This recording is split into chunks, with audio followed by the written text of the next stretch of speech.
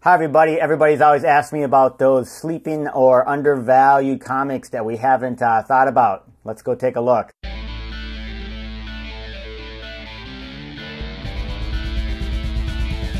So, today I'm going to talk about a couple comics that um, I've been thinking about. And um, I, I've done a little bit of research. And what I try to do in some of these videos is just not say go buy Marvel Comics number one. We know we know about that one or or a lot of the great Silver Age ones that are on the app. Those are by now I think most people understand which you know which are the ones that are more valuable. We're trying to find uh, comics like in it reminds me of like in the you know in the physical world where you're trying to find a comic that is relatively cheap and you can take a chance on and see some sort of you know maybe I mean, of course, the best case scenario would be double your money, but you know, like I said in one of my other videos, you know, 30, 40, 50%, maybe even 15, 20%. Uh, so these are the ones I have for you today. Let's get right into it. I have comics and collectibles, so we'll discuss both. Here we go. So the, we'll, we'll, start with comics. So the first one is X Men 129, which is the first appearance of Rogue. Um, as I've stated before, uh, this, she's not a huge character, but definitely um, one that uh, X Men collectors are going to want. This is a 30,000 mint run, and uh, I think I think once we get 30,000 people that are X Men fans, they're going to start. Obviously, if they have an X Men one, and, and I'm going to, you know, some of the other ones. But I think eventually they're going to want this one, and so that will push the price. Right now, it's at $14 for a common. You know, uh, do I recommend buying 100 of them? No. You know, do you want to take a chance and take get one of them if you don't have one, or maybe another one? Sure, I think that's probably good. $14. The next one is X Men number four, which is the first appearance of Quicksilver and Scarlet Witch. If you are an MCU fan, you know that Scarlet Witch has been everywhere. She had her own show. And of course, if you've seen the new trailer for Doctor Strange 2, which is coming out in, you know, two, three months, unless it gets delayed for other unknown reasons, uh, she seems to be playing a big part in that. You know she's going to be a big character going forward. I think that will give the book a kick. Long term, um, like I said, people are going to want to collect these X Men books. Uh, and the book uh, in the real world is worth quite a bit of money. So X Men 4 for $34, that's the common. Once again, I might consider taking a shot at it if you're interested. New Mutants 98, I've said that many times. First appearance of Deadpool. Deadpool, um, you know, if you just do a Google search, again and again, uh, Marvel has said they're going to come out with another um, Deadpool movie. Um, and uh, and you know he's a character you can sprinkle in, kind of an odd character, but I think is huge. Uh, and what hurts New Mutants '98 is it's a very very large mint run. So, but I think once it gets into the right hands, um, and we're getting you know literally tens of thousands of users each day, I think New Mutants '98 is going to go up. It already has. Um, it's around twenty dollars right now. Could you take a shot at the common? I would.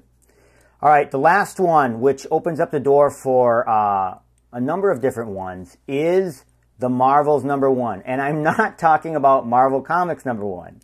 I'm talking about the Marvels number one, which most people have, you know, pretty close to the bottom of their tier lists and other things. I know I do too. And from a, you know, significance of, um, you know, what happens in the book, it's not necessarily a lot of first appearances, but the cover art is done by Alex Ross who is a phenomenal artist, one of the really, really well known and big time artists, kind of like a Todd McFarlane level artist in the modern day.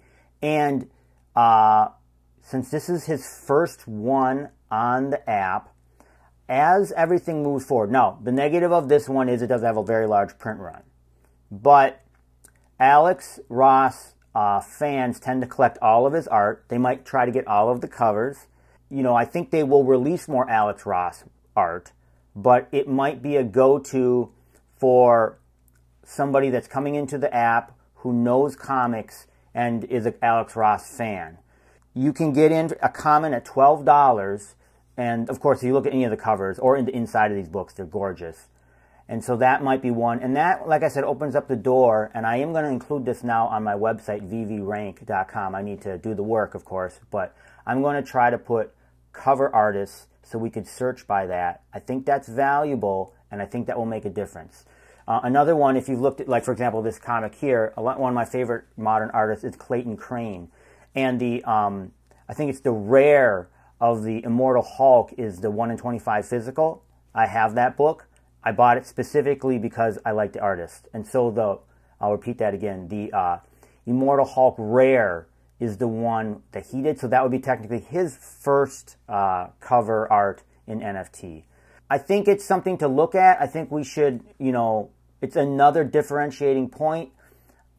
Do you buy, you spend tons of money just for that? But no, I think it's a cumulative effect. So, you know, it's a first appearance. It's, the cover artist is a first, appear, first appearance. All these things, I think, work together and create value for, you know, a comic. So, and as things get priced out, people are going to be looking. So that's, those are the ones I have for you in the comic realm. All right, let's move quickly to the um, collectible realm. Uh, I have a couple, and, and, some of them are a little bit more expensive, but I want to talk about my mentality. So the one I, the ones I'm looking at is the Eternals Mighty uh, Marvel set. I do own that set. Uh, I'm looking to buy a couple other ones, you know, just a couple pieces, maybe the Ikaris or something like that. Um, Eternals, that movie is now coming to Disney Plus very, very soon. New, more people will be watching it. Plus, they're you know very, very low entry point. Um, people speculate that these uh, uh, Mighty Marvels might be used in some sort of game or other things. It might be good to take a shot. Some of them, a lot of them are under $30. Some of them are a little bit more expensive, but um, they have been moving up. And we've seen how much Steve Rogers and some of the other ones have moved up. So maybe take a shot on those.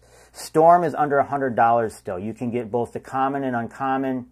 I've said repeatedly, I think that's one to get and really we'll see the big boom on that one when they release more X-Men in collectible form. People are going to want to have the whole team and uh, and put and you know show them off. Um, now, one that's more expensive, and I try not to. Well, I'll do one more. What's rel- I'm kind of going up in terms of value. Catwoman is at uh, a little over 200. I remember many, many, many days in which it was way under um, 100. I do think this is a significant character. We've seen what some of the other Batman ones have done people speculate that the vault eventually will open that she's sitting on and we'll see some goodies in there. I don't know, maybe it'll be animated, you know, once again, all speculation. But she's a major character. And um, now, she does have 11K mints, which is, you know, you think about, okay, let's take think about Joker. Joker has 7,500.